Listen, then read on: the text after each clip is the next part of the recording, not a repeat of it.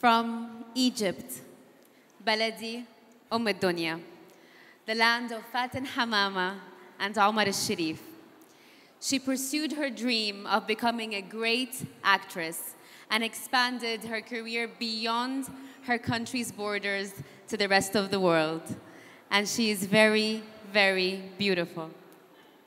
رحبوا معنا بسعادة السفير المصري في دولة الإمارات السيد شريف محمد البديوي والسيد وائل حبال والآنسة لنا الجندي لتقديم الجائزة لمكرمنا.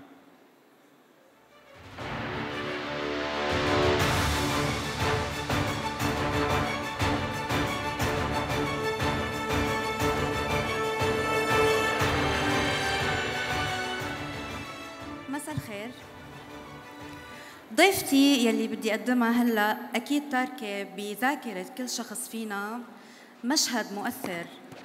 ضيفتي ممثلة محترفة إذا بتشتغل ولو دور صغير بأي فيلم أو مسلسل أكيد رح يكون عمل مميز لأنه هي بتعرف شو بتختار ولأنها هي من الأشطر على الصعيد العربي.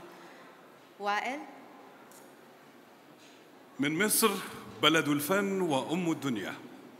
جريئة بأدوارها موهوبة بالفطرة تأسر القلوب بأعمالها السينمائية والتلفزيونية. هي ليدي الفن المصري معالي السفير. يسعدني أن أعلن جائزة ضيافة لهذا العام تذهب للفنانة المتميزة نيلي كريم.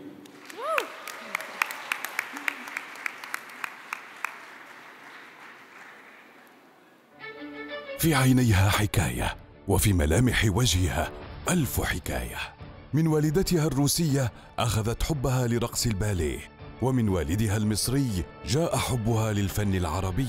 أول ظهور لها كممثلة كان في العام 2000 بعد أن شاهدتها الراحلة الكبيرة فاتن حمامة لتشاركها وجه القمر. ومن يومها قررت نيلي كريم أن تعيش على وجه القمر بين النجوم بل وأن تنافس مثيلاتها بأدوار مركبة أدخلتها قلوب مشاهديها. ضيافة تكرم ياركيا زيزدا النجمة المتألقة نيلي كريم.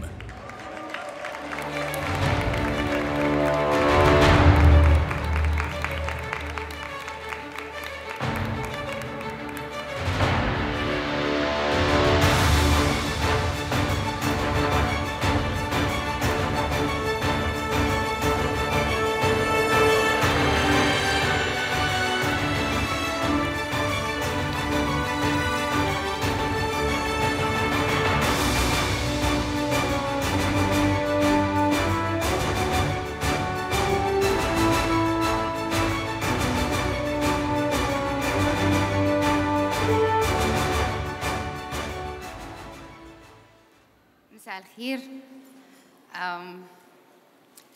ميرسي. شكرا دبي. شكرا ضيافة. شكرا دكتور ميشيل. أنا بصراحه من الناس اللي ما بحبش أتكلم قوي. دايما بستلم ال- الجايزة في سكوت بحيي وبمشي. بس بجد عايزة أقول إن أنا مبسوطة وفرحانة إن أنا في وسط نجوم أساتذة زملاء.